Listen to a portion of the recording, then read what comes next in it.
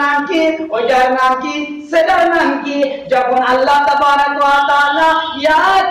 করে যখন জিজ্ঞাসিত করলেন তখন আদম আলাইহিস সালামকে যেগুলো শিক্ষা দিয়েছেন সেই জিনিসগুলোর নাম এক এক করে প্রত্যেকটি জিনিসের নাম বলে দিলেন। আলহামদুলিল্লাহ। প্রত্যেকটি জিনিসের নাম বলে দিলেন। তখন আল্লাহ তাবারাক বলছেন যে তুমি কি করো? যখন দেখো যে তোমরা বলছিলে যে মানুষকে সৃষ্টি করি না, এরা দাঙ্গা ফাসাদ করবে। কিন্তু দেখো যে এখানে তোমরা পারলে না, কিন্তু এই মানব জাতি কি করল? ফেরে গেল। তখন আল্লাহ রাব্বুল আলামিন বললেন, আমার ফেরেশতারা, তোমরা কি করো? এই আদমকে সাজদা করো, তাজিম সাজদা। এখানে তোমরা কি করো? তাজিম করো। আর সম্মান জানানোর অর্থে তোমরা কি করো? আদম আলাইহিস সালামকে কি করো? করো। আল্লাহ তাবারক ওয়া তাআলা কথা মতো আদেশ অনুসারে কি হলো সমস্ত ফেরেশতা করল, কিন্তু ইবলিস শয়তান করল না। এবং একটি যুক্তি দিল, কি যে আল্লাহ তাবারক ওয়া তাআলাকে যুক্তি দেখাচ্ছেন কি? যে আমি তো হচ্ছে আগুনের তৈরি আর আদম হচ্ছে মাটির তৈরি। তাহলে আমি কোনদিনও কি করব না? আদমকে সাজদা করব না। এর জন্য আল্লাহ রাব্বুল হলেন এবং করলেন? শয়তানকে জান্নাত থেকে বিতাড়িত করলেন। এই ঘটনাটি অনেক লম্বা চওড়া আছে, তো আমি শর্টে শুধু বলছি। তাহলে এখানে এখানে আপনারা কি বুঝতে পারলেন? এখানে আল্লাহ রাব্বুল আলামিন এই শিক্ষার কারণে হযরত আদম আলাইহিস সালামকে ফেরেশতাদের দ্বারা কি করলেন? সিজদা করালেন। ইসলাম আমাদেরকে নামাজ রোজা হওয়ার জাকাত, এগুলো ফরজ হওয়ার আগে আল্লাহ রাব্বুল আলামিন আমাদের প্রতি শিক্ষাকে ফরজ করেন কেন? ইতিহাসে বলা চলে আছেন আমাদের শেষ নবী মোহাম্মদ সাল্লামের জীবনী দেখেন। আমাদের শেষ নবী মোহাম্মদ সাল্লামকে আগে নামাজের কথা বললেন না, রোজার কথা বললেন না, হজের কথা বললেন না। আল্লাহ রাব্বুল আলামিন আগে বললেন যে, ইকরা বিসমি রাব্বিকাল্লাযী খালাক। আগে বললেন কি? আল্লাহ রাব্বুল আলামিন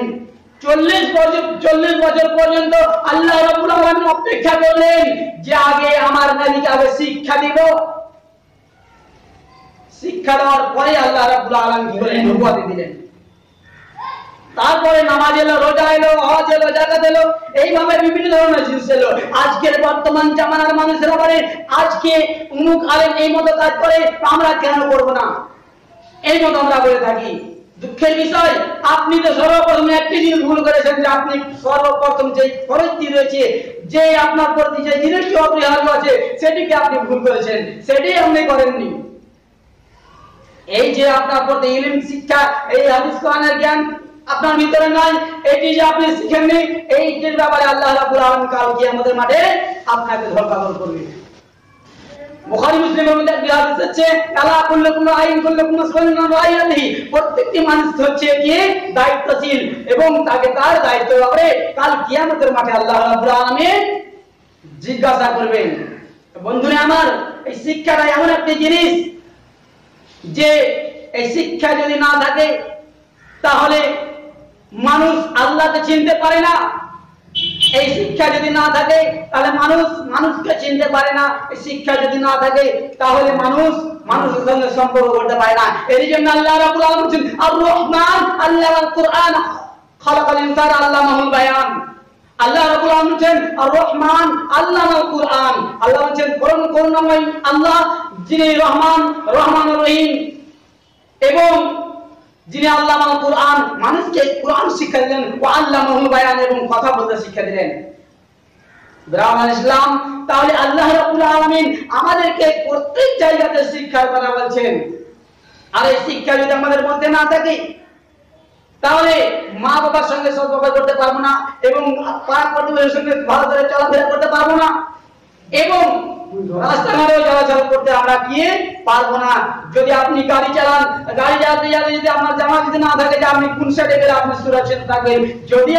না থাকে, আপনার যদি শিক্ষা না থাকে, তাহলে আপনি পারবেন না। এর জন্য আপনাকে প্রত্যেকটা জিনিস আপনাকে কি করতে শিখতে হবে। এবং এই যে এম এই যে জ্ঞান, ইসলামিক জ্ঞান যেগুলো আছে, সেগুলো আপনাদেরকে শিখতেই হবে। আর কোরআনের শিক্ষা এমন একটি মর্যাদা, এই কোরআনের শিক্ষা এমন একটি গুরুত্বপূর্ণ শিক্ষা যে আল্লাহ তাআলা বলেন যে এবং আল্লাহ নবী সাল্লাল্লাহু বলেন যে লোকটি কোরআনের একটি একটি অক্ষর পড়বে, একটি অক্ষর পড়বে তাকে 10 নেকি দান করা হবে।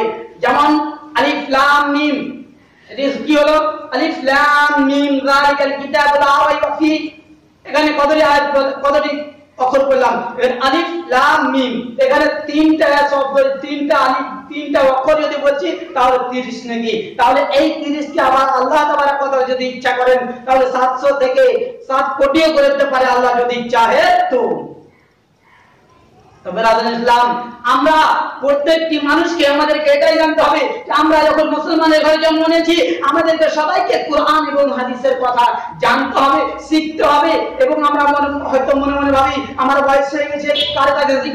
আপনাদের গ্রামে যে আলেম রয়েছে, আপনি ওখানে গিয়ে শিখেন। যদি আপনাদের গ্রামে কোনো জায়গাতে প্রোগ্রাম হচ্ছে, কোনো জায়গাতে হচ্ছে, সেখানে যান, সেখানে গিয়ে শিখেন। কিন্তু এই শিক্ষা কিন্তু আপনার জন্য বাপ নাই। কাল কিয়ামতের মাঠে আপনি বলবেন যে আমি জানি না। আপনাকে যদি বলে, আল্লাহ রাব্বুল আলামিন, কাল কিয়ামতের মাঠে, কাল কিয়ামতের মাঠে আল্লাহ রাব্বুল আলামিন যদি আপনাকে একটি প্রশ্ন করে নাই, তোমাকে কে বারণ করেছিল? কি বলবেন? কিছু বলার নাই। যে এখানে আপনি যে বলবেন যে আমি জানি না, সেখানে মানা হবে না। এর জন্য আল্লাহ রাব্বুল আলামিন বলছেন যে আপনি যদি আপনি যদি শিখেন এবং আল্লাহ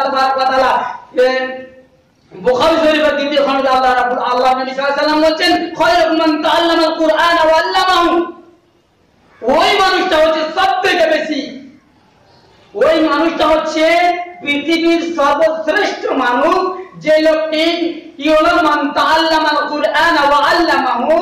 যে কি করল? নিজের কোরআনকে শিখলো এবং অপরকে শিক্ষা দিল। সেই লোকটি যে পৃথিবীর সর্বশ্রেষ্ঠ মানুষ।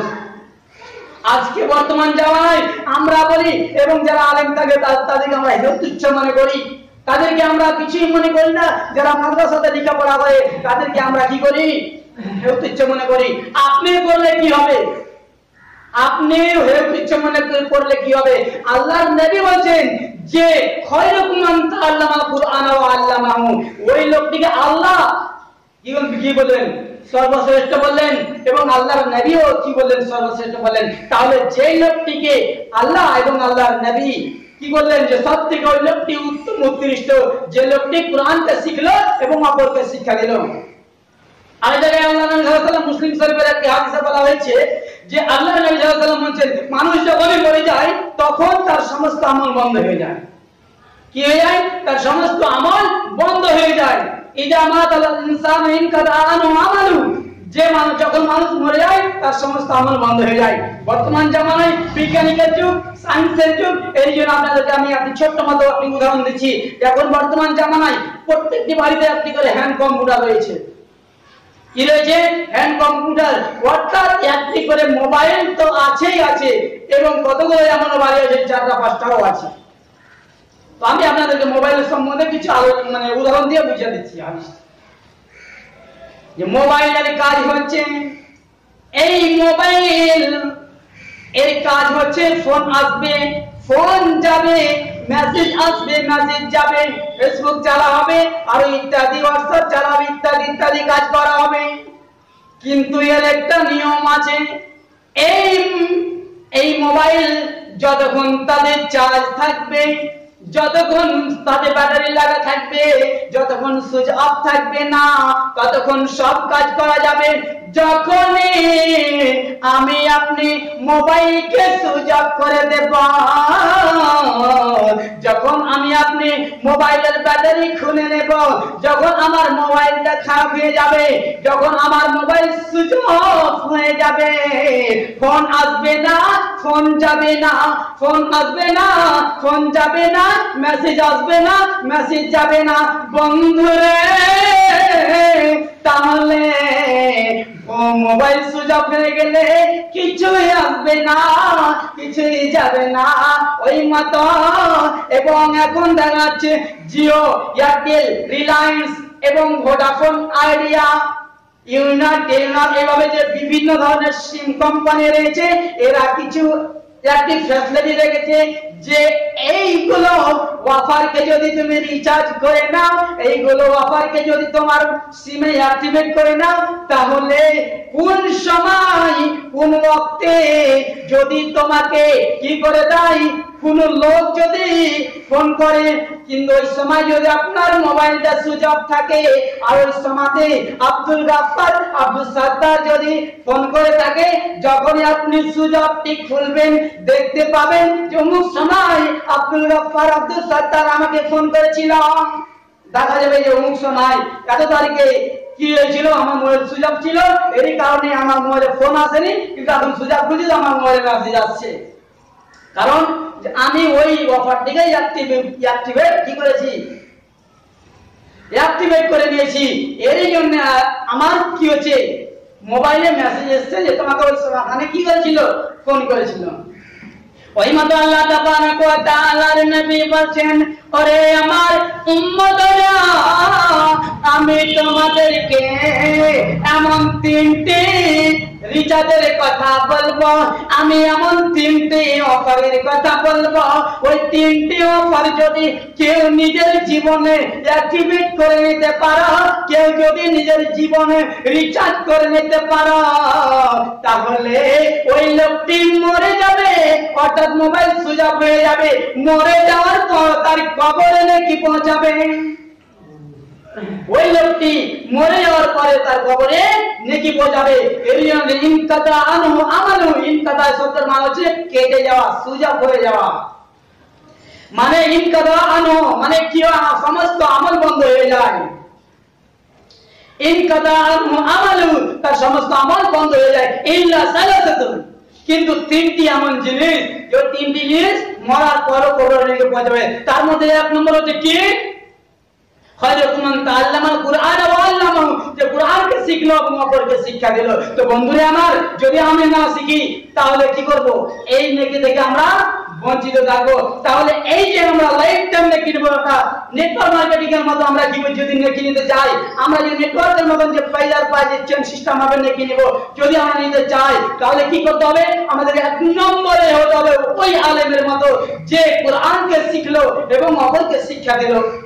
এক নম্বরে।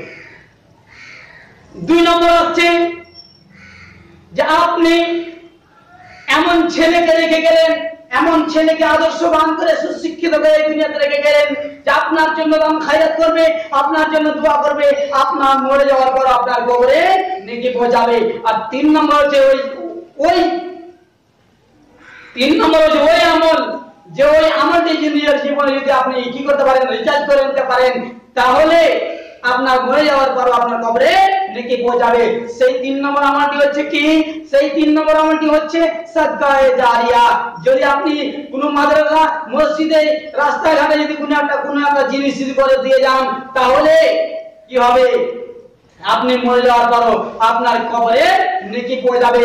ওই জিনিসটি, যে জিনিসটি আপনি কি তৈরি করে দিয়ে গেলেন, যে জিনিসটি আপনি দান করে গেলেন, সজ্জায় জারিয়া করলেন, যতদিন থাকবে আপনার কবরে নেকি পৌঁছাবে আর এই হাদিসটি হচ্ছে সেই মুসলিমের হাদিস।